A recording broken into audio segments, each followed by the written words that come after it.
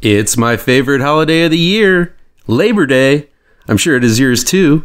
And as I sifted through the scores of horror films taking place on Labor Day, I ended up checking out the early 80s slasher Humongous, which takes place over, what else? Labor Day weekend.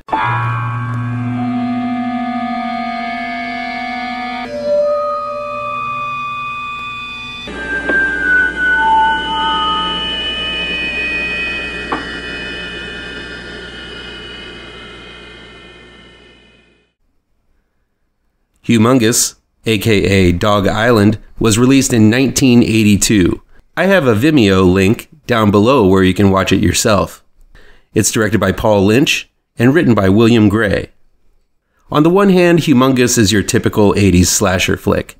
It's got an unseen killer with a dastardly origin stalking clueless and hormone driven youths through a forest. Nothing we haven't seen in a Friday the 13th film dozens of times, except this time it's on an island. Despite the fact that what plays out in Humongous is highly formulaic, it follows this formula in a skillful manner that proves to be mighty horrific for its time. Humongous, aka Dog Island, named after the secluded island these horrific events occur upon, is about the product of a nasty rape that results in the birth of a monstrous child. Like other films such as Mother's Day, I Spit on Your Grave, and The Beast Within, rape is given monstrous form in Humongous. In the metaphorical sense, the monsters in these films represent the stigma attached to a victim. Though all rapes don't result in pregnancy, there is the nightmarish stigma that follows the heinous crime. In horror movies, this nightmare is given the form of a beast, and the beast in Humongous is just that a seven foot tall madman that grew up away from society on an island populated only by his mother and a pack of wild dogs. Of course, the child is just a tiny bit maladjusted. Having to compete with wild hounds for food makes one quite surly, I'd imagine. Much of the movie is dedicated to the uneasy connection between the youngsters, which basically serve as fodder for our madman. Though the story of two warring brothers is somewhat interesting, this plot thread is only touched upon, and the film quickly falls into convention, with the virginal final girl being the only one left to take on the monster.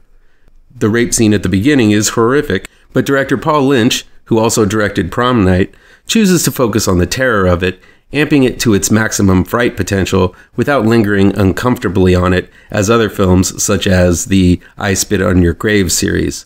After that, Lynch opens the film with a haunting montage of still photographs set to elevator style jazz music having just witnessed the brutality of the opening and then being inundated with these saccharinated photos of a woman who, through the photos, grows older and more secluded on the island is a memorable way to communicate the passage of time. Lynch is guilty of aping POV shots seen in Black Christmas, Halloween, and Friday the 13th, but impresses me with moody lighting, especially in the scenes with the disfigured monster in them, only seen in silhouette in front of the bright light source.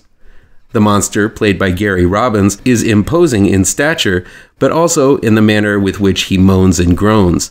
The sounds coming from the humongous creature are ones of pain and remorse. It also sounds like a crying man baby crashing around and killing all of these youngsters and later feeling pain from these acts. Humongous shouldn't be on the top of anyone's must see list, but if you're looking for an old slasher convention done right, it's sure to please. It's also pretty much the only horror film set on Labor Day that I could find. The film stars David Wallace, best known for Mazes and Monsters and Mortuary, with TNA provided by Joy Boushel, who was the bar floozy Goldblum beds in The Fly.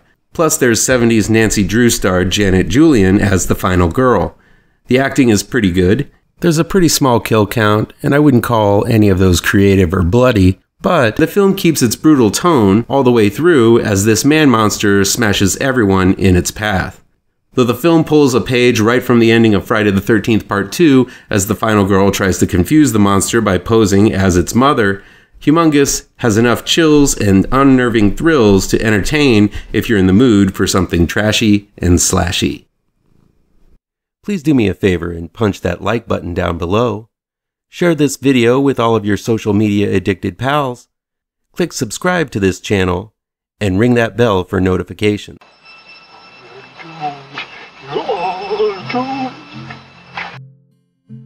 You're doomed